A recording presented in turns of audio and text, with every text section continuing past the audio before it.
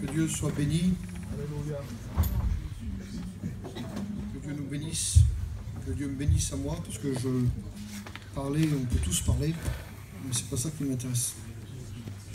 C'est euh, d'être béni. Je suis béni. On est béni, vous êtes béni.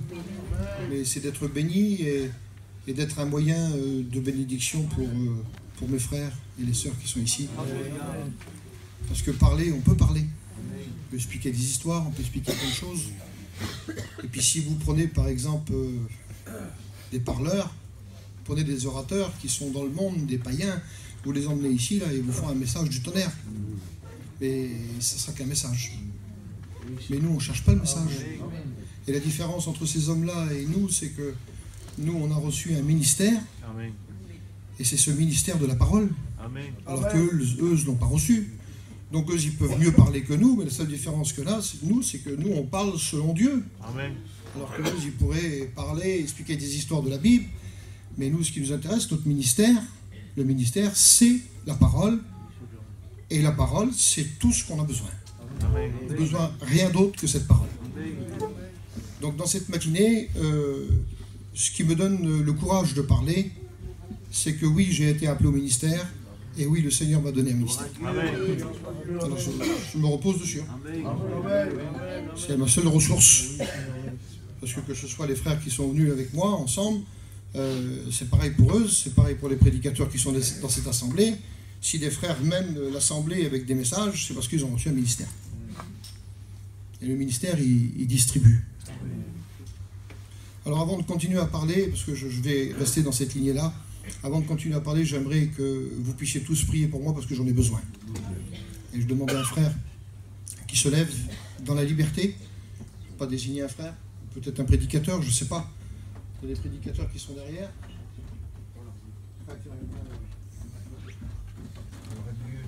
Nous voulons te remercier, Seigneur, Merci. pour cette communion fraternelle Amen. et combien nous voulons t'honorer, te glorifier en écoutant ta voix. Nous savons au fond de nos, de nos cœurs que ce qui est précieux, c'est toi. Et tu nous as donné, Seigneur, ta parole. Merci pour ton serviteur. Combien nous croyons à l'appel au ministère. Merci. Tu as donné des ministères à l'Église, Seigneur, pour le perfectionnement du corps. Alors je te prie de te glorifier ce matin. Je veux écouter pour devenir encore meilleur. Merci. Pour que ce qui est mauvais en moi, pour ce, que, pour ce, qui, est de- pour ce qui est dans mon cœur qui ne te glorifierait pas à travers ta parole, ce soit une lumière pour mon cœur. Merci. Je te loue, Seigneur, parce que ta parole, elle juge, tu dis, Que ton les sentiments du cœur. Il n'y a que toi qui as le droit de me juger, et tu le fais à travers ta parole. Bénis ton serviteur, ouelle-le de l'onction divine, pour que nos cœurs soient réceptifs à ta voix. Au nom de Jésus. Amen. Que Dieu soit béni. Si on serait des gens du monde, on marcherait avec la compétition. Et je m'aurais peut-être mis en compétition avec Frahim et puis Glazo. Et puis j'aurais dit, tiens, je vais essayer de faire meilleur qu'eux. C'est ça le- la compétition. Et j'ai écrit ce matin euh, quelque chose.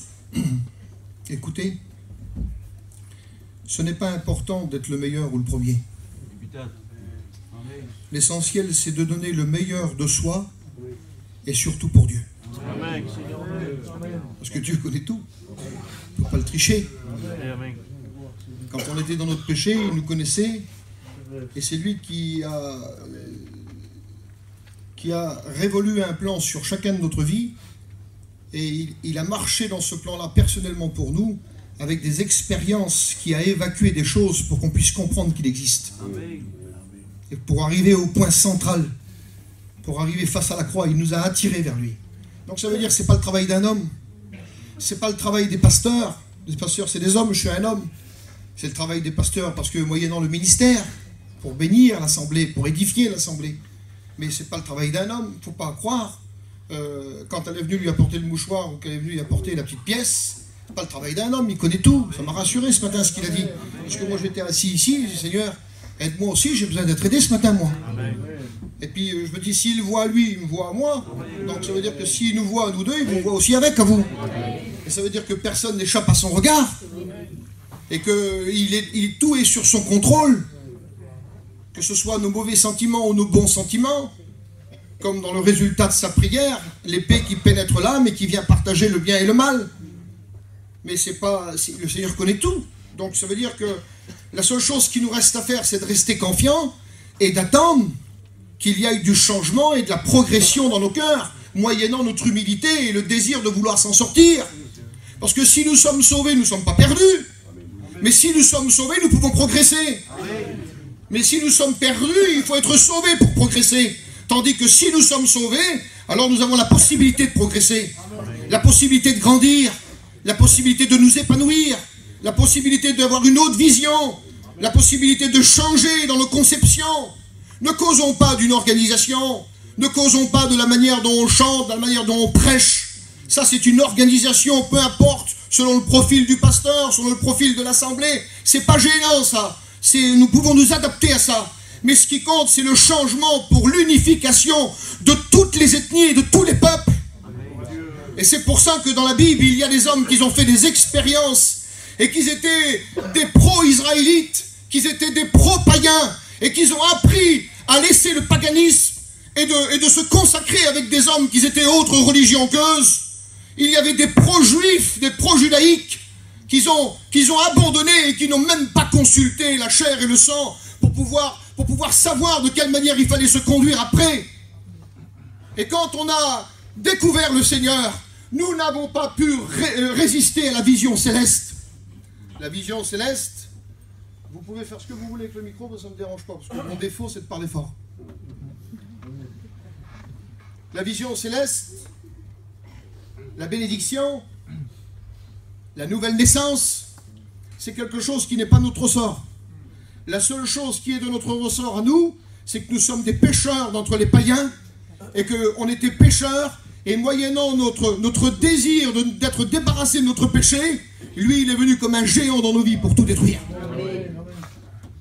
Et aujourd'hui, nous sommes ce que nous sommes. Et si nous le sommes, nous le sommes par la grâce de Dieu. On n'a pas fait d'efforts. C'est pas parce qu'on fait partie de cette famille-là, c'est pas parce qu'on fait partie de cette ethnie-là, c'est pas parce qu'on fait partie de cette race-là, c'est pas parce qu'on fait partie de cette nationalité-là. Vous devez me comprendre, avec toutes les prédications que vous avez, vous avez compris ces choses-là. C'est la grâce de Dieu. Nous sommes tributaires de la grâce de Dieu. Pour nous, il n'y avait rien. Et aujourd'hui, il y a tout. L'héritage est pour nous. Et la Bible déclare dans le livre des Romains, il dit que tant, le, que le testataire est vivant, le testament n'est pas valable. Il faut que le testateur meure pour que le testament soit valable et que les, futurs héritiers obtiennent leur héritage. Eh bien, j'aimerais vous dire que Christ est mort. Il est mort pour nous. Le testataire est mort. Et bien sûr, ne connaissons pas de dire sa résurrection, parce qu'un indissociable de la mort et la résurrection a fait en sorte de nous ouvrir la porte. Et aujourd'hui, nous sommes des héritiers. Alors, vous avez besoin de quoi? Des chaussettes pour faire le marché? Vous avez besoin de quoi? Ben, Il faut demander au Seigneur. Il faut qu'on apprenne, comme moi j'ai besoin d'apprendre. Je vous prêche, moi pourtant, et puis euh, quand je dis par exemple, euh, je prêche et nous savons ce que nous disons. Nous ne disons pas n'importe quoi dans les assemblées. Nous respectons les assemblées. Nous respectons les personnes âgées. Nous respectons les jeunes. Et nous savons de quelle manière nous devons parler. Il y a une correction dans le ministère. Dieu n'a jamais parlé au prophète de, avec de la vulgarité. Il a dit ce qu'il avait à dire. Et nous, nous devons ce que, dire ce que nous avons à dire, mais selon l'expression de la parole. Et non pas selon nos pensées, selon je pense, selon je crois. Amen. Des gens qui blessent, des gens qui vexent. On n'est pas cette trompe d'hommes-là. Les frères de notre mission, les frères, quelles que soient les ethnies, les frères ont le respect des personnages et des familles. Mais nous voulons vous, vous, vous donner à percevoir que le Christ est vivant. Et de plus en plus, nous devons nous plonger dans sa présence. Alors, j'aimerais vous citer un verset qui m'est venu à l'esprit ce matin. Et j'ai pensé à ça parce que j'ai pensé entre, entre les conflits qu'il y avait entre Céphas, qui est Pierre, et Jacques, les difficultés qu'ils ont rencontrées. Et j'ai été amené à lire ce verset-là. Exode, chapitre 25 et verset 22. Il est dit ceci. J'ai été euh, touché par euh, l'introduction à, à, ce verset. Le verset dit, c'est là que je me rencontrerai avec toi. Du haut, faites attention, tous les mots, tous les mots sont, prophétiques. Du haut du propitiatoire, entre les deux chérubins. Et on peut lire aussi avec l'évangile de Jean, chapitre 19, et le verset, et le verset 30. Il dit aussi la même expression. C'est là qu'il fut crucifié. Et deux brigands de chaque côté et Jésus au milieu. Amen. Toute notre vie repose là-dessus. Il n'y a rien en dehors de ça. On peut faire n'importe quoi, on peut faire des bonnes prédications ou des belles prédications, je ne sais pas comment on pourrait les appeler à un moment donné. On pourrait faire les meilleures méditations, on pourrait vivre la meilleure vie chrétienne. Sans ça, on ne peut rien faire. Parce que ça, c'est la crucifixion. Et dans l'Ancien Testament, il y a le passage prophétique. Parce que le propitiatoire, euh, euh, c'est tout simplement une espèce de, de, couvert qu'on mettait sur, euh, sur, sur un caisson qui faisait 75 cm d'auteur. Sur 75 cm d'auteur, il était en carré. Et en haut, il faisait 50. Et on mettait donc un propitiatoire, et vous savez, connaissez, il y avait deux anges, et à un moment donné, tous les ans, le souverain sacrificateur venait apporter le sang. Mais faites attention, le sang n'était pas mis par terre, il était en haut du propitiatoire. Et là, on est devant euh, la marque officielle de la crucifixion de Jésus. Si vous aimez mieux dans le caisson, il y avait ce que vous savez. Euh, il y avait la manne, il y avait aussi avec le bâton d'Aaron qui avait refleuri, il y avait les commandements, le bois était d'acacia, il était recouvert d'or, montrant l'humanité, un bois, euh, le bois de Sittim, c'était un bois imputrescible, ça veut dire il était inattaquable, et Christ dans son humanité, il a été tenté, il s'est passé plein de choses, mais il a été inattaquable. Pas notre manière, nous. Nous, nous sommes faibles. Nous sommes fragiles. Vrai, Mais lui, il était de la même nature. Mais il n'a rien fait, il n'a pas dévié. Il a gardé sa trajectoire. Parce que s'il aurait dévié de sa trajectoire, on ne serait pas sauvé aujourd'hui. Mais il a demeuré le même. Et là, ici, dans le verset du haut du propitiatoire, c'est pas sur la terre, c'est en hauteur. Et tout ce, qui est, tout ce qui est en hauteur, c'est le symbole de la bénédiction, et vous le savez.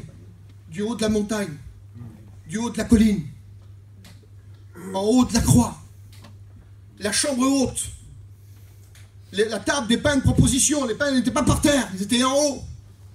La table faisait environ à peu près 75 cm d'auteur, 80. C'était toujours en haut.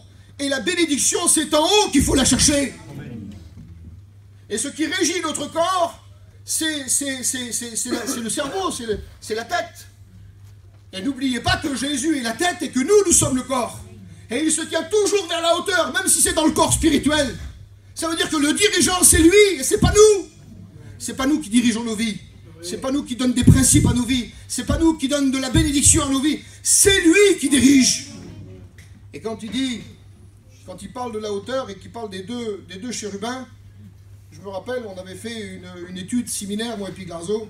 Lui, il avait prêché sur les anges, il avait annoncé un message sur les anges, et moi, j'avais annoncé un message sur le diable et les démons, et de quelle manière le diable s'est levé au-dessus du trône de Dieu pour pécher. Et Garzo disait que le travail des anges, il est similaire à celui des hommes. Et le travail des anges déchus est similaire à celui des pécheurs. Donc ça veut dire que, ça veut dire que ce qui a été fait dans le ciel, au commencement, Dieu créa les cieux et la terre. Au commencement, Dieu créa les cieux, il crée la création angélique.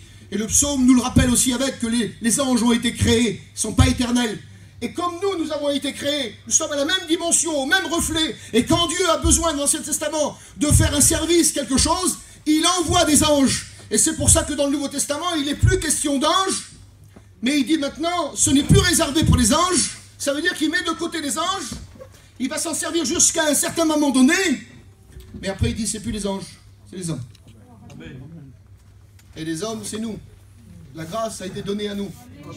Les anges, qui sont des anges spirituels, célestes, euh, n'ont pas besoin d'être sauvés. Parce qu'ils n'ont pas quitté. Ça vous dérange si j'enlève la veste Non Je peux la garder hein, si vous voulez. Alors je vais mourir. les anges qui ont, ont été déchus, ils ont perdu leur domicile céleste. Et de ce fait, eh ben, ils n'ont plus rien à voir avec le ciel. Et aujourd'hui, ils sont, ils sont tourmentés, ils sont dans la misère, ils n'arrivent pas à s'en sortir, ils ont peur. Mais n'oubliez pas que les démons savent, ils connaissent les enfants de Dieu. À l'exemple de, des sept fils de Séba, et qu'ils ont dit, nous connaissons Jésus, nous connaissons Paul, mais vous, on ne vous connaît pas. Et celui qui n'est pas né de nouveau n'est pas connu de la puissance des ténèbres. Parce que ils ne sont pas redoutables, ceux qui vivent encore dans le péché. Ils sont associés au mal. Et là, je, avec respect, je le dis, s'il y aurait parmi nous des, amis, je ne dis pas ça pour que ça choque, mais je dis ça pour comprendre le message de ce matin. C'est que quelqu'un qui n'est pas converti est associé au mal. Et Jésus ne va pas se gêner de dire dans l'évangile de Jean, au chapitre, euh, je me souviens plus le chapitre, chapitre 8, et verset 44, il dit, il dit quelque chose d'expressif. Et les quelques versets qui sont ici sont en train de, nous dévoiler de quelle manière le diable agit, de quelle manière il s'y prend. Il dit, vous avez pour père le diable. Se gêne pas de le dire. Se gêne pas. Nous, on est sortis de ces griffes-là, mais aujourd'hui, on est dans la sainteté, on marche avec le Seigneur. La seule différence qu'il y a, c'est que les anges qu'ils ont déchus, sur la terre, ils font un service, et les hommes sans Dieu vivent dans le mal et dans le péché, et je ne veux pas les pointer du doigt, parce qu'on était de cette trempe-là. Et nous avons compris, nous nous sommes humiliés, et nous avons revêtu Christ, tandis que nos familles qui ne connaissent pas le Seigneur sont encore dans cette misère. Et ils sont alimentés par toutes sortes de, motivations qui ne sont pas la gloire de Dieu, par toutes sortes de choses qui ne correspondent pas à la bienséance de l'Évangile, parce qu'ils ne connaissent pas l'Évangile. Donc nous ne sommes pas meilleurs qu'eux, nous avons trouvé le Seigneur. Et nous, de ce fait aujourd'hui, c'est que du fait que nous connaissons le Seigneur, alors nous sommes coupables si nous faisons autre chose que de s'avancer vers lui. Le Seigneur est capable de nous pointer du doigt et de nous parler personnellement et de nous dire ce qui ne va pas? Pourquoi? Parce qu'aujourd'hui, nous avons revêtu la vie spirituelle, la nouvelle naissance. Et on ne fait pas esprit d'être des chrétiens. On ne fait pas esprit d'être rempli du Saint-Esprit. On ne fait pas esprit de parler en langue quand on est baptisé du Saint-Esprit. On ne fait pas esprit de sentir la présence de Dieu. On ne fait pas esprit d'apprécier le message, quel que soit le pasteur. Que ce soit un étudiant de première année ou 10 000 présidents. On ne fait pas esprit parce que nous aimons la parole et nous nous attachons aux choses de Dieu. Et là, dans ce verset ici, les deux chérubins qui allaient préfigurer, parce que faites attention au verset, et il y a un verset qui est prophétique dans, dans l'Ancien Testament, c'est Exode 25, 22, et il y a un verset d'accomplissement qui se trouve dans le Nouveau Testament, c'est l'Évangile de Jean, chapitre 19, verset 30. C'est la même similitude c'est là qu'il tue, c'est là que je me rencontrerai avec toi. Et j'aimerais vous dire que notre rencontre, on n'a pas trouvé le Seigneur. Alors c'est vrai sur le plan, euh, sur le plan euh, euh, physique, on a pu très bien le trouver au volant de notre voiture. On a pu très bien le trouver dans notre lit le matin, penser au Seigneur. On a pu très bien aller une fois dans une réunion, mais peu importe de quelle manière on l'a trouvé et où on l'a trouvé. Le principal, c'est qu'on l'a trouvé. Mais j'aimerais vous dire que quand on l'a trouvé, notre cœur et notre esprit étaient fixés sur la croix du calvaire. Et pourtant, on n'a jamais été à Jérusalem pour la plupart. On n'a jamais fait le parcours. Et même si on y va aujourd'hui, il n'est plus là-bas. Parce qu'il peut se trouver ici ce matin. Et il se trouve ici. Et quand on est là, ici, devant, devant le, propitiatoire, parce que c'est Moïse qui parle, et il dit, c'est ici, c'est là, entre, entre les deux chérubins, du haut du propitiatoire, entre les deux chérubins que je me rencontrerai avec toi non seulement il donne, une directive pour euh, la loi de Moïse, mais il y a une directive prophétique à venir. Et la directive prophétique à venir, c'est Jean 19.30, c'est le rendez-vous qu'on a vécu un jour personnellement dans notre cœur avec le Seigneur. C'est là qu'il fut crucifié, à Golgotha, le lieu du crâne. Le crâne, c'est le, crâne de l'humanité. Quand on regarde l'hébreu, on en ressort ça. Quand on regarde le grec, on ressort aussi avec des notes concernant Golgotha. C'est le crâne de l'humanité. Ça veut dire que la croix a été plantée dans le crâne de l'humanité. Et, 44 000 kilomètres comme ça, parce que c'est ce que fait la Terre, 44 000 comme ça, peu importe, on s'y retrouve toujours. Quand on est à Golgotha, on est au centre du monde. Et il a planté la croix au centre du monde, au centre de notre vie, et nous sommes attirés vers lui. Et même si on est sauvé, hein, On est toujours attiré. Le sacrifice est toujours présent, toujours vivant. Il est toujours puissant. Il a toujours sa même notoriété. Mais il dit, je me trouverai entre les deux chérubins, et n'oublions pas le passage de la croix, c'est que ces chérubins en question se sont tournés, au départ c'était des chérubins, mais à la fin c'est des hommes. L'espace prophétique de, Genèse 25-22 et, l'accomplissement de, de Jean 19-30, c'est que maintenant c'est plus des chérubins, c'est des brigands qui sont à côté de lui, à notre exemple à. Et le quota, c'est que sur deux, il y en a un qui est sauvé. Le quota, c'est que, là c'est un quota euh, pour dire de parler, hein, parce qu'on ne peut pas le, mettre à la page du monde mondial d'aujourd'hui. Parce que la Bible déclare que, que, le monde, c'est le grand chemin large et spacieux, et beaucoup l'empruntent, et que, et que pour venir à la, croix du calvaire, et pour venir dans la vie de Dieu, c'est le petit chemin qui est, qui est retressé, qui se rétrécit et qui mène à la vie éternelle et peut le prendre. Donc on ne peut pas mettre le même quota pour le monde d'aujourd'hui. Parce qu'aujourd'hui, on est quand même à un nombre très important. Le calcul, c'est qu'on est quand même 7 milliards 248 millions d'êtres humains sur la Terre. On a dépassé les 7 milliards. On a environ à peu près 220 milliards de, de, catholiques et de protestants mélangés. On a aussi avec 160 euh, milliards, 1 milliard, 1 milliard 600 millions 1 milliard 600 millions de musulmans. 1 milliard 600 millions de musulmans. On a aussi avec 1 milliard 33 millions d'hindouistes, et sans compter les bouddhistes, et on n'a que, que 13 millions 850 000 de juifs. Et j'en passe encore, parce qu'il n'y a, pas, a, a pas le compte là. Donc c'est pour vous dire que aujourd'hui nous sommes sur le petit chemin. Et à l'exemple du petit chemin, aujourd'hui, le quota, c'est un brigand et un perdu. Deux brigands, un sauvé, un perdu. Donc ça veut dire que le Seigneur, il appelle les hommes, mais pour autant qu'il y en a qui vont refuser l'appel. Et, la Bible parle d'assister. La Bible parle de persévérer. La Bible parle de, les arracher du feu. La Bible parle de, de, témoigner, d'améliorer notre témoignage, qui lui va parler plus que nos paroles.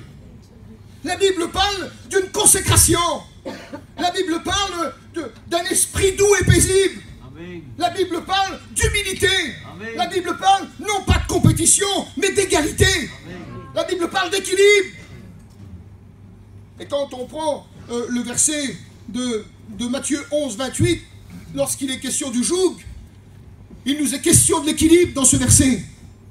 Et l'équilibre donné dans ce verset, c'est un joug que les, hommes dans, la vie domestique de tous les jours, dans la vie sociale de tous les jours, prenaient un joug avec un équilibre. Mais il y a des jougs qui n'ont pas d'équilibre. C'est pour ça que Jésus, dans le verset, associe, s'associe avec celui qui met le joug. Parce que si Jésus n'est pas associé avec celui qui met le joug, il n'y a pas d'équilibre. Ça sert à quoi d'avoir un joug qui fasse ça, comme ça, et comme ça, et d'être tout seul, et de le traîner tout seul, avec la charge qui se trouve derrière, le joug va tirer en arrière et il va pencher. Tandis que si les deux animaux, ou alors les deux hommes, sont véritablement, parce que c'était des animaux domestiques pour tourner les sillons de la terre, et qui, avancent ensemble dans la même cadence, alors le travail va se faire. Et si on est tout seul, nous ne pouvons pas rester tout seul. Il faut que nous soyons au moins deux et indexé sur deux, indexé sur deux, indexé sur le couple, indexé sur la femme et le mari. Et si nous marchons à la même cadence dans le foyer, ou si elle ne comprend pas son mari, ou que lui ne la comprend pas, ou alors si le foyer est mixte, parce que ça arrive, il y a le chrétien ou la chrétienne, il y a euh, aussi avec, euh, ou alors euh, elle, elle est inconvertie, et lui il est converti. Ou alors c'est la jeune fille qui se marie avec quelqu'un qui n'est qui est, pas chrétien, et elle, elle est convertie. Et après, les ennuis commencent. Le joug va être difficile à avancer. C'est pas facile à avancer quand on est tout seul. Nous pouvons nous associer avec des autres. Mais en réalité, le quota démarre avec la cellule familiale. Parce qu'en définitive, quand Adam a péché, il était lui et sa femme. Et c'est à partir de lui que le commandement a été donné. Et c'est à partir d'elle qu'il n'était pas convaincu des choses et qui a été séduit, comme on le sait et que les choses se sont faites à ralentissement. Et c'est pour ça que le péché est entré dans le monde. Et aujourd'hui, vous connaissez les conséquences du péché. Je n'ai pas à vous en parler. Vous le savez aussi bien que moi. Mais la Bible prévoit que le dernier Adam, Le dernier Adam, c'est Jésus. Le premier nous a mis dans la misère. Il n'a pas tenu à sa parole. Et pourtant, c'était lui qui avait reçu le commandement et pas elle. Pourquoi lui et pas elle? Parce qu'elle, elle sort de lui, elle a été créée à partir de lui, et que lui a été créé tout seul, elle n'existait pas. Et si la femme existe aujourd'hui, elle n'existe que par l'homme. Et après, maintenant, c'est le cycle normal qu'on connaît. Mais en définitif, le commandement est donné à lui, et c'est, faites attention, c'est elle qui pêche, mais c'est lui qui est réprimandé. Pourquoi? Parce qu'elle, c'est une tierce personne, elle arrive après. Tandis que lui, c'est lui l'autorité. C'est lui l'homme. C'est lui qui dirige le foyer. C'est lui qui donne les ordres. Comme on dit des ordres, il ne faut pas que ça soit trop, trop péjoratif, parce que dans les choses de Dieu, ce n'est pas des ordres, c'est des conseils, et puis ça se négocie des fois. Mais dans la volonté de Dieu, il nous a introduits dans la misère. Et ça s'est fait comme ça. Et ça a duré 4000 ans. Jusqu'à ce que vienne notre Seigneur. Amen. Le dernier Adam. Ça veut dire quoi le dernier Adam? Ben, Ça veut dire qu'il n'y en aura plus. Et c'est la confirmation de la prophétie de Daniel 9, 24 et 25. Quand il dit il n'aura pas de successeur comme lui. Il mourira, mais il n'y aura pas de successeur comme lui. Il est en train de dire quoi? Il est en train de dire que tous ceux qui vont dire c'est des imposteurs. Il ne dit pas qu'Adam était un imposteur. Il était dans le plan de Dieu, mais il a, il, a, il a dévié du plan de Dieu. Et il a introduit le monde dans l'humanité, dans le péché. Et le deuxième Adam qui est venu, et il dit le dernier Adam.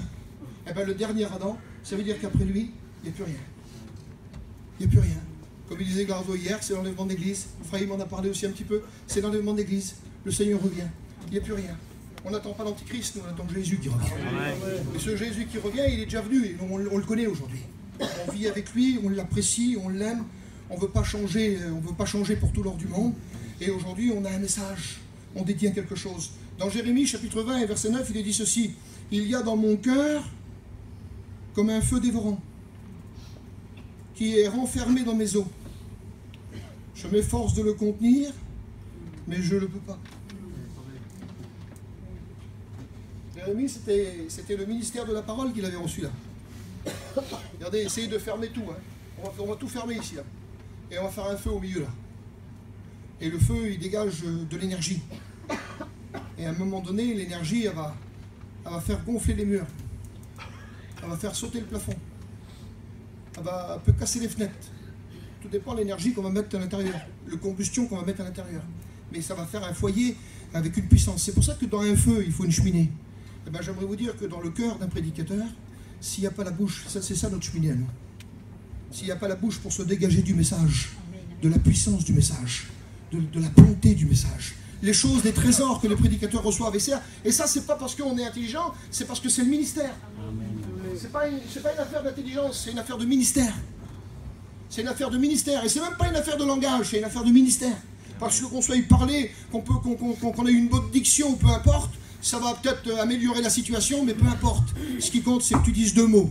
Et les deux mots, tu les dises pour Dieu. Et quand tu dis deux mots pour Dieu, il y a la bénédiction qui arrive. Il y a la bénédiction qui tombe.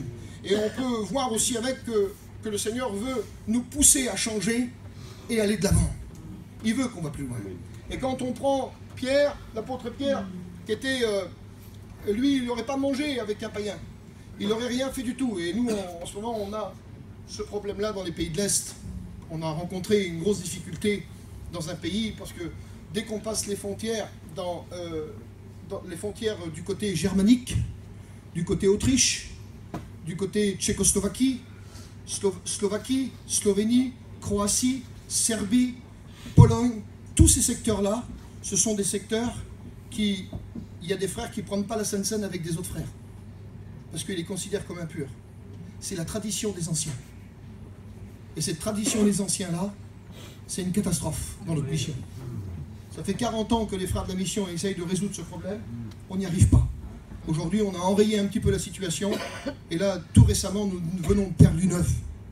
Où des chrétiens, Frahim et le missionnaire de là-bas, il est parti là-bas et il y en a qui sont venus, comme dans l'épître aux Galates, et comme dans les actes des apôtres, et comme Paul l'avait prêché dans l'Asie mineure, et que des juifs ambulants sont venus pour essayer de détourner et faire rejudaïser les chrétiens, et il y en a qui se sont... Et donc Paul monte à Jérusalem pour discuter de la doctrine avec les anciens. Et quand il discute de la doctrine avec les anciens, il, montre le travail qu'il est en train de faire. Il montre la vie de Dieu qu'a passé en Asie mineure. Et c'est ce que Frahim a fait. Il nous a montré la vie de Dieu qui est passée dans ces gens-là.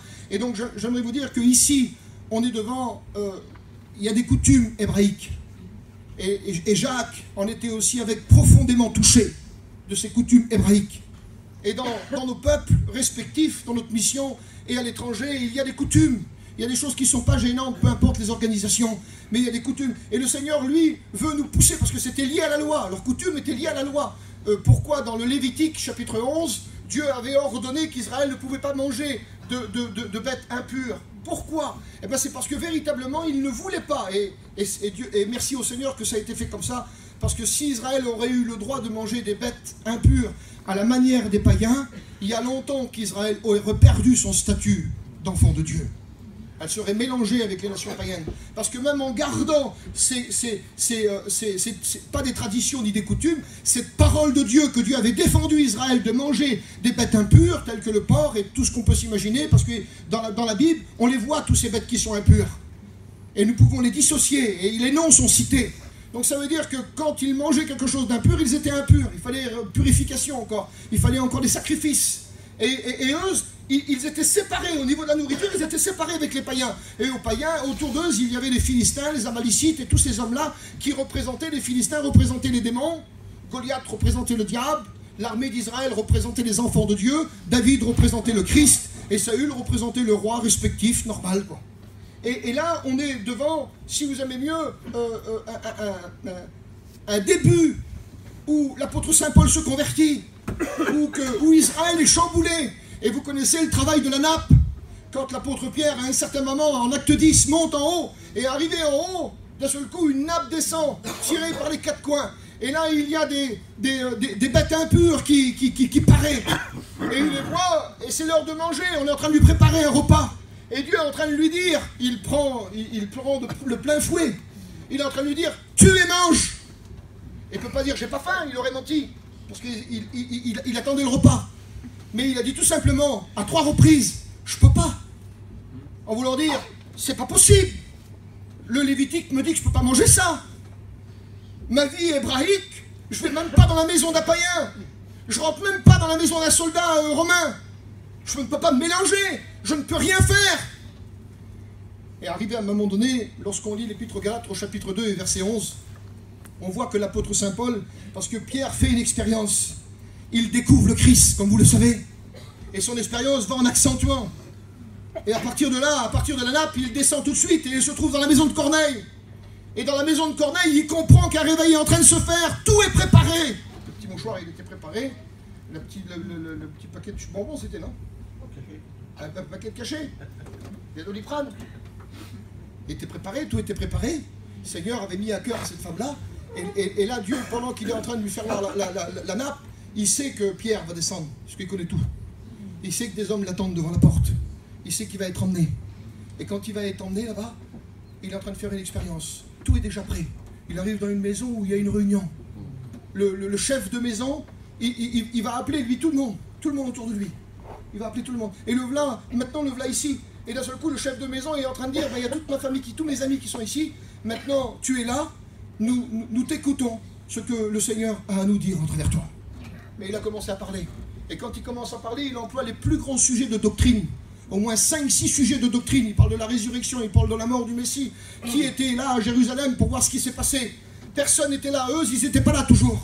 Et puis après, à un moment donné, il dit, il est mort, mais il est ressuscité pour justifier, pour pardonner. Et il parle du pardon, tout ça. Et pendant qu'il est en train de parler, les personnes sont remplies du Saint-Esprit, il est baptisé du Saint-Esprit. Corneille le v'là confondu. Dieu ne lui avait pas demandé de manger les bêtes. Il avait dit, tue et mange, mais c'était pas pour faire un repas pour lui c'était pour comprendre qu'il devait accepter la volonté de Dieu pour aller plus loin. Et quand il a été plus loin et qu'il a fait son expérience, il a compris ce qui s'est passé. Et c'est pour ça que quand l'apôtre Saint Paul avait eu des problèmes dans sa contrée où il y avait des grosses difficultés et qu'il est arrivé vers les anciens de Jérusalem, l'apôtre Pierre avait déjà fait son expérience, parce que ça c'est en acte 10. Et le concile de Jérusalem, c'est en acte 15. Et là, il y a Jacques, et il y a aussi Pierre, et là, ici, on a ces deux grandes colonnes. Et il dit, je montais à Jérusalem vers les plus considérés, vers les colonnes. Et quand il arrive là-bas, lui, c'est le petit étudiant. Il est déjà engagé depuis un certain temps, mais il a surtout un arrière-plan hébraïque. Il est de la tribu de Benjamin, c'est un juif. Il est, de, il est de mère juif. Il est accentué dans le judaïsme. Il a été élevé au pied de la science, la science même de l'époque. Il connaît l'hébreu par cœur, il connaît l'araméen, il connaît le grec. C'est un homme instruit. Mais ce n'est pas une question d'instruction, c'est qu'il a dans son cœur le désir de défendre l'œuvre de Dieu, l'apôtre Saint Paul. Et quand il arrive à Jérusalem, il, a, il trouve des hommes qui ont fait des expériences là, de bénédiction. Parce que si on ne fait pas des expériences de bénédiction, on a du mal à comprendre les autres. Et quand on fait des expériences de bénédiction, on grandit. On augmente notre connaissance avec le Seigneur. Quand on fait des expériences personnelles, on a une vision qui s'élargit. Quand on fait une expérience personnelle, on comprend que nous devons tendre la main. On comprend que nous devons lier d'amitié. Nous comprenons que nous devons faire des sourires. Nous comprenons que nous, devons prendre les frères dans les bras. Nous comprenons que nous devons embrasser nos frères. Quand on est lié d'amitié et qu'on fait des expériences avec le Seigneur, nous voulons aller plus loin. Et l'apôtre Saint Paul y montre parce qu'il a une seule, un seul désir dans son cœur, c'est de défendre l'œuvre de Dieu. Et je crois que nous sommes tous animés de cette pensée-là. Serviteur de Dieu, c'est défendre l'œuvre de Dieu. Nous voulons défendre l'œuvre de Dieu. Nous voulons bénir l'œuvre de Dieu et la défendre contre tous les pièges du diable, contre toutes les difficultés, les difficultés mondaines, les difficultés d'aujourd'hui, les difficultés sociales, les difficultés diaboliques et sataniques, les choses qui ne sont pas du tout la gloire de Dieu, les difficultés qui nous, fragilisent, les choses dans lesquelles nous avons peur. Il y a encore certaines craintes dans la vie de certains chrétiens. Par un moment, quand il y avait eu le problème avec la nourriture, personne ne voulait manger de viande. Personne ne voulait manger de quoi que ce soit. Pourquoi? Parce que la nourriture était contaminée. On avait donné à des bovins qui mangeaient de l'herbe, on leur avait donné de la farine animale. Donc ça veut dire c'est pour dérégler. Quand il est question d'une expression, parce que c'est une expression biblique, quand il est dit l'homme se détruira par lui-même, ça veut dire qu'en définitive que la façon dont c'est parti là, la façon dont ça s'évolue, la façon dont la dimension, elle quadruple, la façon dont le péché augmente. La Bible déclare bien sûr que, que, que, le péché augmente, que le mal augmente, mais j'aimerais vous dire que gardons quand même du courage. Hein la grâce, elle surabonde sur tout ça. Et elle écrase tout. Mais aujourd'hui, on est dépassé par le, phénomène. Aujourd'hui, maintenant, euh, moi, ça fait 20 ans que j'ai pas de télé, mais c'est pas, pas, c'est pas une, une, une, exploit, parce que des frères aussi avec qui, c'est comme ça aussi avec, mais bon, parlons pas de la télé. Mais, aujourd'hui, maintenant, on est dépassé par les situations. Maintenant, il y a des choses qui rentrent dans nos foyers par, nos enfants. Vous prenez deux petits-enfants, vous les assiez ici, là. Et puis, ils se parlent même plus. Parce qu'ils jouent, ils jouent au jeu. Ils jouent au téléphone. Ils jouent à des, jeux. Eh ben, je crois que c'est Glazo qui a parlé ça, Frahim. Eh ben, faisons attention à nos enfants. Faisons attention à ce que nous amenons chez nous, parce que nous sommes responsables de nos enfants. On, vous, vous, prenez, les sœurs, je vous le dis avec respect, une sœur, elle va se promener, elle prend son petit bébé ou sa petite, elle va vers l'autre sœur là-bas, et puis euh, ils parlent ensemble, normalement. Les enfants sont assis, il n'y a plus de communion avec les enfants. C'est même plus des enfants. C'est plus des enfants parce qu'ils apprennent des choses, ils voient des choses, ils ont une vision, ils comprennent des choses. Il n'y a pas tellement longtemps, euh, il y a un petit enfant qui, pleurait en plein jour. Un petit enfant quand même de, de 8 ans, hein. 7-8 ans, il pleurait en plein jour, mais en plein jour. C'était pas possible, il était inconsolable. Au docteur, il faut l'emmener au docteur, on l'emmène au docteur, on l'emmène à l'hôpital, on l'emmène ceci, on l'emmène cela. Oui. Et puis euh, il était troublé psychologiquement. Et puis il y a même les parents qui ont pensé des mauvaises choses. Vous voyez Donc euh, c'est compliqué, on est des gitans, c'est compliqué, c'est pas facile. Et puis, et puis, et puis là, la peur s'est emparée du foyer. Oui Oui, mais il y avait des choses que l'enfant regardait et qui touchaient sa psychologie. Des choses qui, polluaient son esprit. Des choses qui lui faisaient peur des choses qui n'étaient pas du tout à la gloire de Dieu. Des choses gentilles pourtant, c'est des petits Mickey, des petites affaires comme ça. Ne rentrons pas dans les détails, mais c'est pour dire devant Dieu qu'aujourd'hui nous devons faire attention et nous sommes responsables de nos familles, de nos foyers. L'apôtre Saint Paul avait une responsabilité, c'était d'amener à bon port les gens qu'il avait gagnés, les gens qu'il avait sauvés au moyen de son ministère, et par, l'évangile. Parce que c'est l'évangile, l'évangile de la foi. C'est pas l'évangile de la connaissance. C'est vrai qu'aujourd'hui c'est la connaissance, mais c'est l'évangile de la foi. Nous sommes sauvés par la foi. Nous avons été justifiés par la foi, par le moyen de son sacrifice. Et notre rendez-vous, que nous soyons où nous soyons, notre rendez-vous, nous sommes convertis n'importe où, mais notre rendez-vous c'est la croix. Entre les deux brigands, la croix du calvaire, du haut du propitiatoire, devant Golgotha, que ce soit chez nous, dans notre chambre, peu importe, quand on se convertit, on est face à la croix. L'apôtre Saint Paul arrive et quand il arrive, il arrive pour défendre. Et c'est vrai que l'apôtre Pierre, vu son expérience, va défendre Paul. Mais un homme qui ne comprend pas ne peut pas défendre. Une sœur qui ne comprend pas ne peut pas, ne peut pas défendre son mari. Une sœur qui ne comprend pas, il y a la, sœur, elle, elle, a son mari qui est engagé dans le diaconat, elle ne comprend même pas la dimension. Et sans le vouloir, elle est peut-être peut-être un petit interdit pour lui, ou elle est un obstacle pour lui, parce que toujours en train de le décourager. Et pourtant, il travaille pour Dieu, lui. À l'exemple de celui qui voulait allumer le feu, même s'il faisait 30 km, j'en suis convaincu qu'à un moment donné, pour prendre la décision qu'il avait prise, certainement sa femme avait un rôle aussi avec dans cette affaire. Je dis certainement, hein, peut-être pas sûr. Peut-être qu'après, c'est peut-être seulement son découragement, parce que sans l'intervention de nos femmes, nous pouvons être aussi découragés. Et nous aussi, nous pouvons décourager nos femmes. Nous pouvons être un découragement pour eux, et pourtant, bah, nous sommes des pasteurs, et nous sommes des chrétiens. Nous sommes des chrétiens, nous sommes des hommes, c'est nous qui dirigeons, mais nous pouvons être des fois un découragement. Et moi, je le dis à ma honte que j'ai été plusieurs fois un découragement pour ma femme. Il a fallu que j'ouvre les yeux. Il a fallu que je regarde. Il a fallu que je voie que ce que je faisais, ça allait pas, et qu'il a fallu que je mette de l'eau dans mon vin pour rendre plus joyeux mon comportement, pour rendre plus joyeux ma façon de, mon, mon atmosphère familiale, les efforts que nous avons à faire les choses que nous, nous sommes dans l'impérativité à faire. C'est pas parce que, pardonnez-moi, je le dis avec le respect de cette assemblée, c'est pas parce que nous sommes des hommes et que le commandement nous est réservé que nous avons tous les droits. Nous avons été sauvés par grâce. Et ne faisons pas de cette grâce un prétexte de vivre selon la chair, charnelle. Comment alors, amis Mais pourtant, on est spirituel. Ah non, quand tu fais ce que tu veux, tu n'es pas, pas spirituel, tu es charnel. Quelqu'un qui fait ce qu'il veut, il n'est pas spirituel, il est charnel. Quelqu'un qui parle comme il veut, il n'est pas spirituel, il est charnel. Quelqu'un qui fait attention comme il parle, il est spirituel. Quelqu'un qui fait attention comme il dit quelque chose, il est spirituel. Une sœur qui fait attention, elle est spirituelle. Un frère qui fait attention, il est spirituel. Mais celui qui, qui, brade les mots, là, puis qui, les déballe n'importe comment, c'est quelqu'un de charnel. Et combien de fois je me suis trouvé aussi charnel, moi Combien de fois je me suis trouvé aussi à décourager les autres Et sans le vouloir, c'est malgré nous le péché, dit l'apôtre Saint Paul en acte en Romains 8. Il dit, il y a une chose qui est en moi, mais qui me fait la guerre, et je ne peux pas m'en débarrasser. C'est le péché qui est en moi. Comment l'apôtre Saint Paul est en train de dire que tu es sauvé par grâce, et puis que le péché est en toi? Je sais, bien que dans le verset, le péché n'est plus en lui, mais lui, il est en train de dire que le corps qui est voué à la terre, il est voué au péché. Bien sûr qu'il y a deux catégories de corps. Il y a le corps qui est, l'âme est sans Dieu, et celui-là, ben, il n'a pas de retenue, il fait ce qu'il veut. Parce que l'âme est sans Dieu, alors l'âme a soif des choses du monde. Mais j'aimerais vous dire que quand on est avec Dieu et qu'on a soif des choses de Dieu, alors le corps dans le grec ne s'appelle plus le même, il s'appelle soma. Et quand il est soma, c'est un corps qui se consacre à Dieu. Un corps qui vit pour Dieu, parce que l'âme, elle, elle, elle entraîne le corps, l'esprit, elle entraîne le corps, et la Bible, la parole de Dieu qui sanctifie, elle entraîne aussi avec les trois, corps, âme et esprit. Quand quelqu'un est converti, il est converti corps, âme et esprit. Et c'est vrai que sur le, biais de se laver les pieds, alors nous avons besoin de continuer notre chemin. Et quand l'apôtre Saint Paul arrive là-bas, il a au moins une défense. La défense, c'est que l'affaire va se régler. En Asie mineure, les chrétiens vont être dégagés de ceux qui causent des troubles. Et l'apôtre Pierre, faites attention, la première épître et la deuxième épître de Pierre.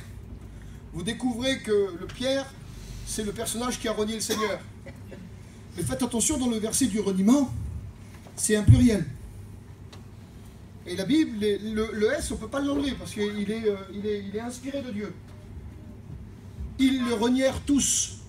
Pierre, lui, déclare qu'il l'a renié, mais le verset dit ils le renièrent tous. C'est un pluriel.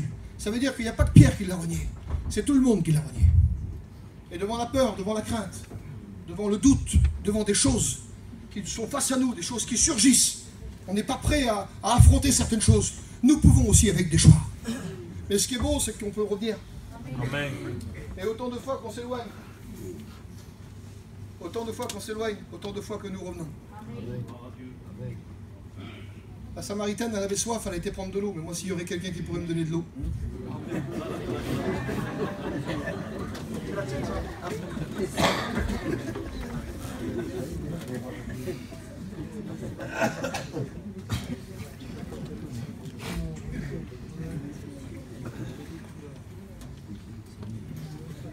Faites attention les deux épîtres.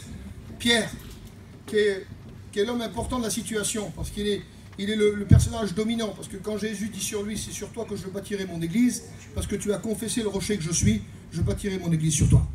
Il ne faut pas oublier que quand on est en acte 10, vraiment les fusions des païens, c'est Pierre qui en fait l'expérience. Ne causons pas de, Jésus avec la syrophénicienne quand il dit la foi de cette femme-là fut grande. Jésus, dans son ministère, n'a pas pu faire autre chose, il n'a pas devancé Pierre, il n'a pas pu faire autre chose que, d'honorer la foi. Et il a honoré la foi dans son ministère à quelques personnes au Seigneur. Mais dans le principe du Nouveau Testament, avec les actes des apôtres, Pierre, lui, va changer. Il va grandir.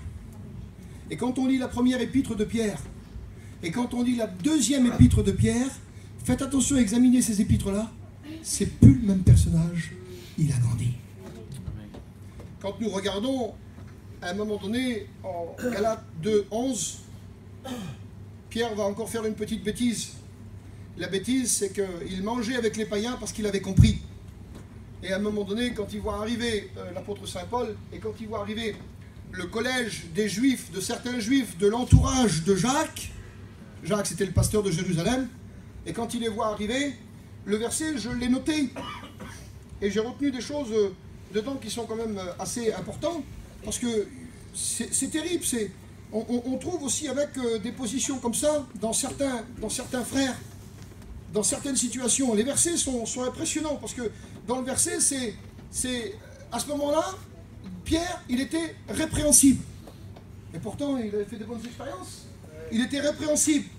Après, euh, il dit, il mangeait donc avec les païens, il usa de dissimulation. Se dissimuler. J'aimerais me le dire, mais avec douceur aussi, hein, essayer de comprendre. Je le dis gentiment. Et de toute façon, je n'ai pas le droit de le dire autrement. Mais la dissimulation, c'est le caractère du diable. Se dissimule. Comme le serpent, tu ne vois pas passer. C'est la dissimulation. Alors bien sûr, on n'en est pas à ce stade-là, mais quand on fait des petits détails comme ça qui ressemblent aux ténèbres, c'est, nous puisons dans les ténèbres à ce moment-là. Et donc là, il dit, il, il, il était répréhensible, il s'est dissimulé et il a été entraîné par l'hypocrisie. Il est devenu hypocrite. C'est vilain quand on dit sur quelqu'un quel hypocrite que c'est. Et quand on le dit en plus, si on, si on arriverait à le dire encore en, plus sur quelques chrétiens, quel, mal de dire sur quelques chrétiens, c'est des hypocrites ça.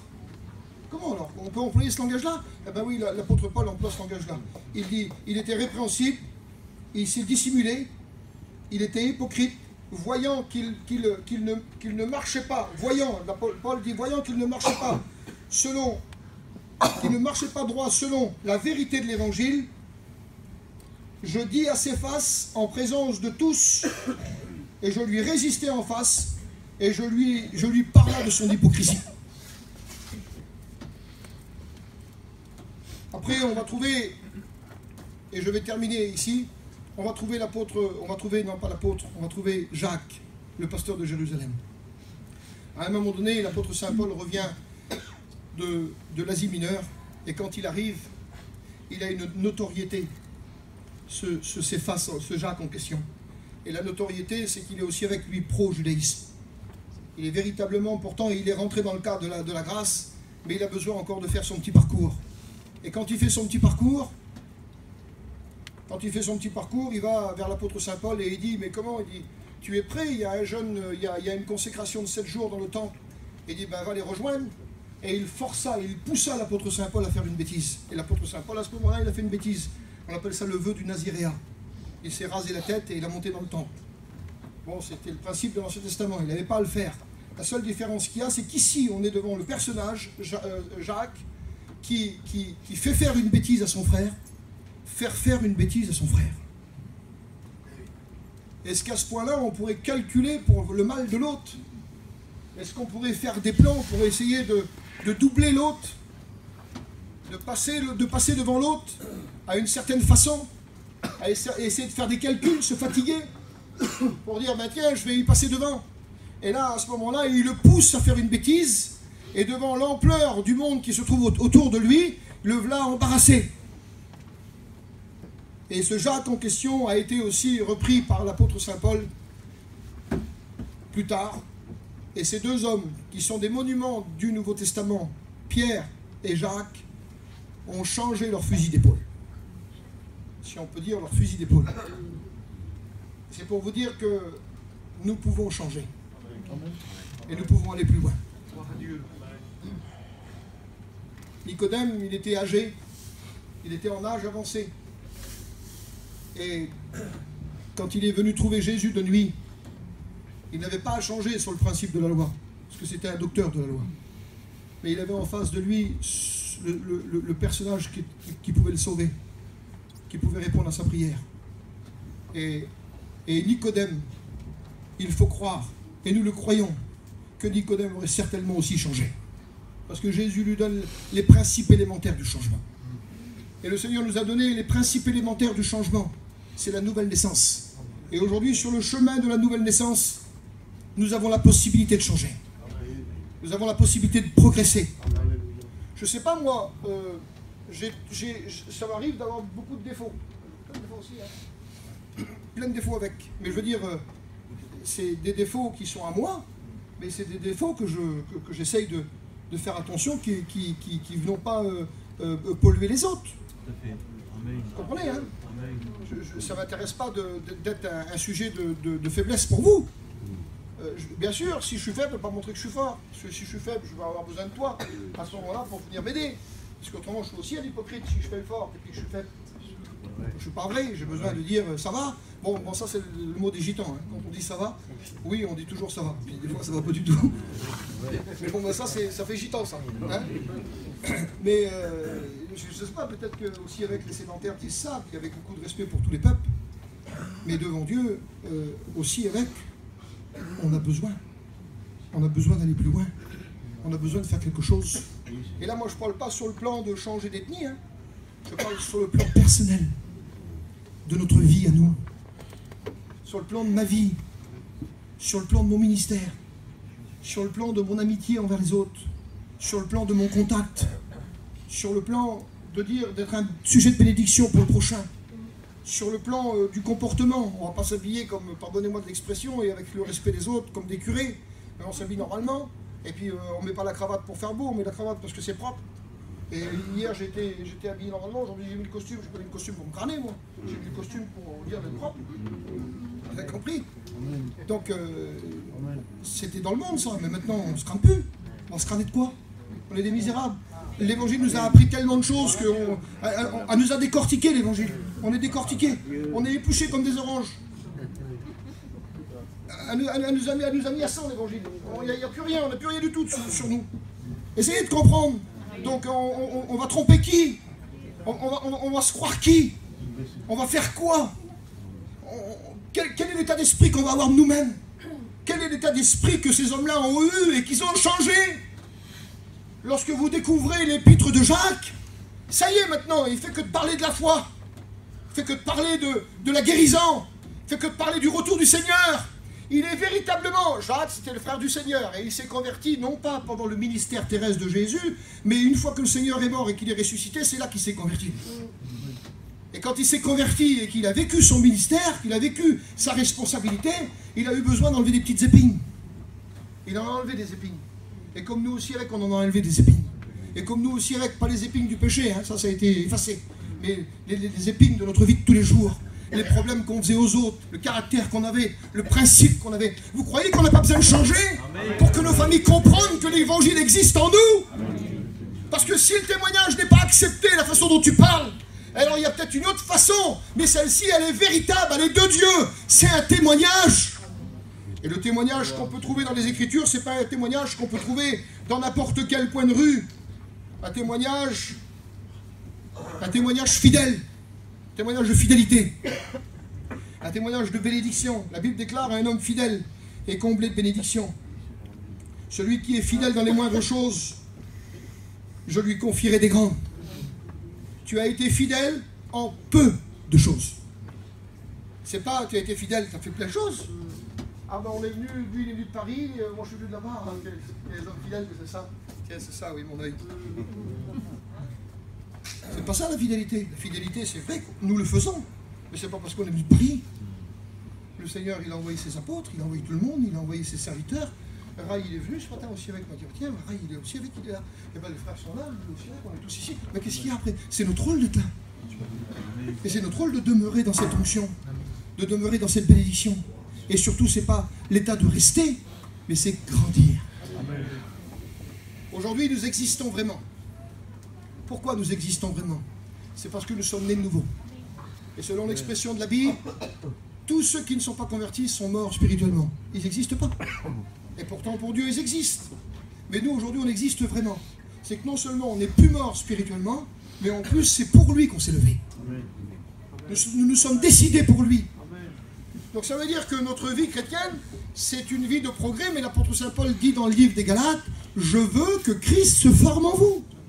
Je veux que, que, votre main soit ma main. C'est formé. Il est né de nouveau, tu es né de nouveau, il est en toi, et eh bien maintenant il veut se former en toi.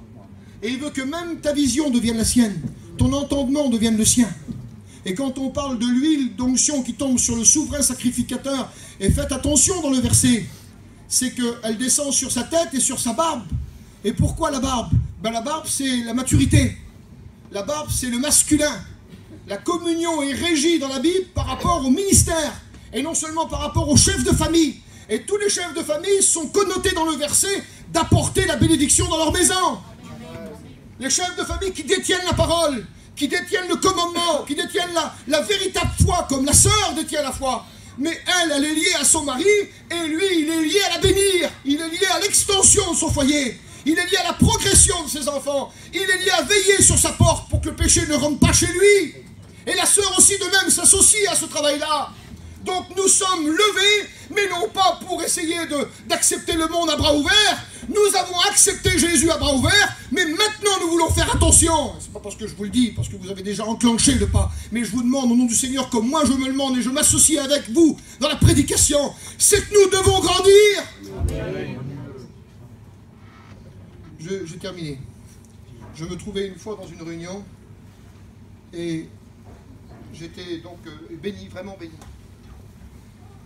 Et à un moment donné, j'ai senti la présence de Dieu. Alors quand on est béni, euh, automatiquement le Seigneur ne va pas nous rappeler notre connaissance, il va nous rappeler notre humilité et ce qu'on était. Mais il n'est pas toujours en train de nous rappeler notre humilité, il est en train euh, aussi surtout avec nous rappeler ce qu'il a fait en nous. Et ce qui veut nous pousser à apprécier de lui. Ce qui veut nous pousser, parce que le Seigneur veut nous pousser, il veut nous orienter à l'apprécier, à apprécier son amour, sa grandeur, sa gentillesse, son regard, sa, bonté envers nous. Parce qu'il est identifié comme un homme, parce qu'à la terre des hommes, il est venu. Donc nous, on ne le connaît pas autrement, et que celui qui dit que le Christ n'est pas venu avec un corps, c'est l'esprit de l'Antichrist. Mais nous, on l'apprécie tout entier, et on sait qu'il est tout et humble de cœur. On sait comment qu'il est, on, connaît notre Seigneur, et qui ne peut pas nous mettre dans la misère. Mais tout ce qu'il fera pour nous, c'est un plan de bonheur et de bénédiction. Donc ça veut dire que quand il nous visite, et là je me sentis visité par Dieu, et le Seigneur était en train d'ouvrir des, vous savez, des fois, on rouvre les fenêtres des campings, on rouvre les fenêtres des maisons, et là, il était en train d'ouvrir des volets dans, mon esprit, et puis il disait, tu vois, la bénédiction, je te donne là-bas. Tu vois, la bénédiction, je te donne là-bas. Tu vois ce que tu es en train de faire là Tu comprends ça maintenant Donc, écoute, fais-moi confiance et continue. Alors, on doit grandir. Le message que j'ai prêché, je m'associe avec vous dans ce message, parce que j'en ai besoin aussi, Et j'en ai besoin parce que plus on avance, les frères, qui sont responsables de cette église, les frères qui sont dans le comité, dans le comité avec Maël et les frères catalans, les autres, ethnies dans notre groupe, dans notre mission respectif, les Roms, et puis euh, secteur, euh, secteur voyageur, secteur Marnouche, secteur Yéniche, peu importe, c'est un seul corps. Un corps en Christ. Quand on était dans le monde, on faisait de la ségrégation. Maintenant, si, vous dites, ah c'est un Marnouche qui prêche ce matin, ça dépend comme vous le dites. Mais si vous le dites d'une façon péjorative, vous nuisez à votre propre corps, le corps du Christ. Parce que moi, ce matin, je suis peut-être la bouche qui parle. Et demain, toi, tu seras peut-être la main qui va donner quelque chose à quelqu'un. Donc ça veut dire qu'on est dans le même corps. Et on est unis. Et on attend. Mais avant d'attendre et avant d'être pris, Jésus a dit dans l'évangile de Jean, il a dit Père, je ne te prie pas de les ôter maintenant, mais de les garder. Et pourquoi il a dit ça? Ben, Il a dit ça parce qu'il avait besoin, pour une période de deux jours, de 2000 ans, il avait besoin de l'Église pour rendre témoignage. Alors enlève-les pas maintenant, tu les enlèveras au moment voulu. Parce que pendant ces deux jours, là, si tu les enlèves, je vais me retrouver tout seul. Je vais faire comment? J'ai besoin d'eux. C'est plus les anges qui vont intervenir, c'est les hommes. Et pour montrer un véritable témoignage, alors il faut qu'on ait, on ait les nouveaux, mais il faut qu'on grandisse. Il faut qu'on va plus loin. Cette soif d'aller plus loin, euh, elle tombe sur moi très souvent, comme sur vous tous. Et quand ça vient, quand cette soif est là, Seigneur, c'est pas possible que. Des fois, je sens le besoin de, me mettre à part une heure ou deux, comme tout le monde fait. Et puis, Seigneur, que c'est bon, Barodev, que c'est bon, mon Seigneur. Et, et, ce qu'il veut en moi, c'est pas que je sois le premier ou le meilleur, c'est que je fasse ce que lui me demande. Donc ça veut dire que là où tu es posté, il faut que tu sois à ton poste. Si tu es posté à la sentinelle, il faut que tu sois une sentinelle. Dans ton foyer, il faut que tu sois une sentinelle, ma soeur. Et aussi les frères des sentinelles, comme moi, je m'associe à vous tous. Et là où on est posté, il faut qu'on soit à notre poste. Tu es mère de foyer, mère de, maison, alors il faut que tu sois une mère. Pas que tu sois un dictateur. Pas oppresser les enfants, de peur qu'ils se découragent. Et les maris, c'est pareil, et moi, c'est pareil. Il faut pas que je sois un dictateur, faut pas que j'oppresse mes enfants, de peur de se décourager. Donc, Seigneur, ma seule soif, je veux grandir. On prie le Seigneur? Merci. Que ton nom soit béni. Seigneur, ta parole nous fait du bien.